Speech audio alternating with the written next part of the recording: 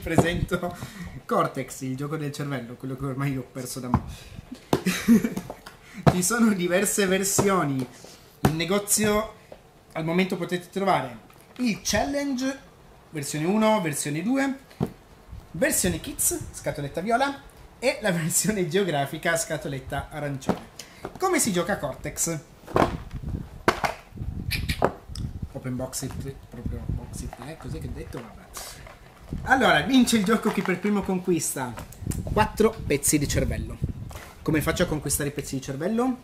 Dobbiamo andare a vincere due carte con lo stesso simbolo. Una volta conquistato due carte con lo stesso simbolo, vinco un pezzo di cervello.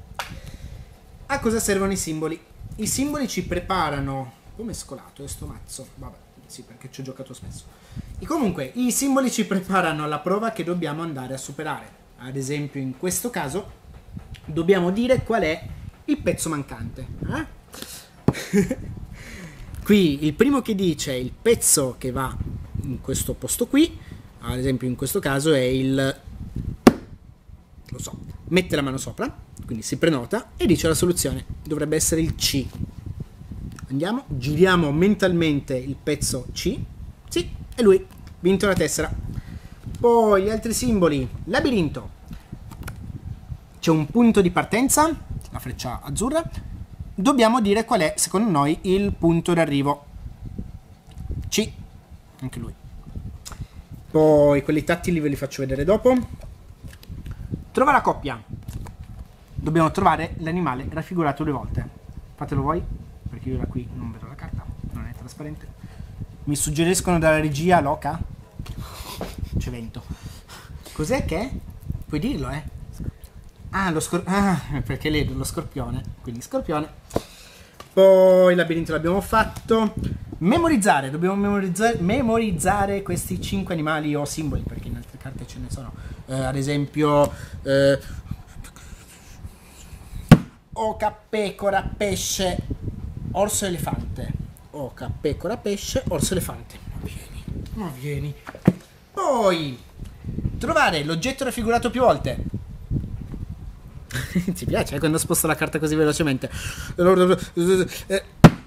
L'uno, dado numero uno.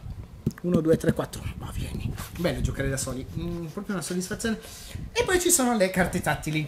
A inizio gioco si danno a, tutte, a tutti i giocatori queste carte che hanno delle cose in rilievo. Quindi dobbiamo memorizzare ogni simbolo, singola carta la propria caratteristica. Quando esce questa carta qui, il, eh, i giocatori, cioè pesca la carta tatto chi ha vinto l'ultima carta. Gli altri giocatori scelgono quale carta fargli toccare.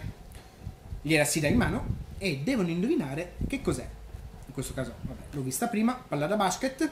In questo caso vince direttamente il pezzo di cervello.